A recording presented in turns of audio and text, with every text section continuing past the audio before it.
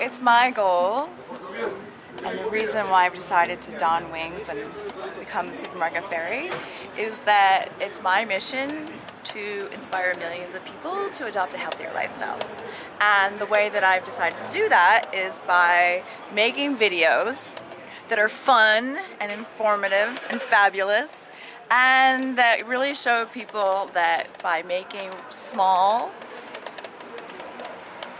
simple changes to their lifestyle, that can make a huge impact on their overall health. Mm.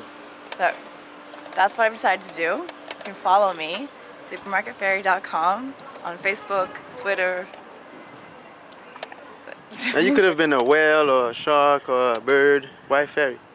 Why a fairy? Actually, the fairy thing was not my idea, I have to be honest. Um, it started out as a joke between myself and my, one of my dearest friends from college.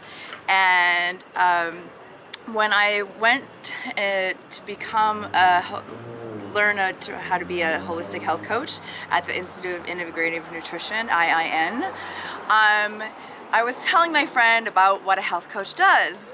And I said, well, you know, we do things like supermarket tours and show people how to shop for healthier food. And she said, oh, you should dress up as a fairy and go to the supermarket and show people how to shop healthy at the supermarket. And I was like, ha ha ha, yeah, of course, that's a great idea. Never gonna happen. And, um, and what, three years later, here I am. But we we continuously over the last few years have joked about the fact that I should dress up as a fairy and go to the supermarket and give people guided tours and, and help um, teach them about health. And I've always thought it was a funny idea.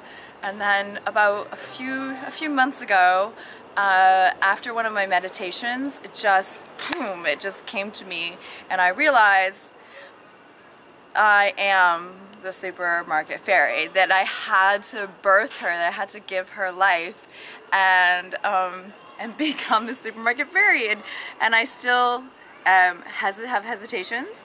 And I still like kind of go you know I check in with my own authentic self and my soul and I say really? Is this really what you want me to do? And she says yes this is what uh, you you need to do in order to help people. And the other reason why I decided to become a fairy, I guess, is because I have a lot of energy because that's what health does for me. It gives me a lot of energy. I have vibrance and passion and I enjoy talking to people about health.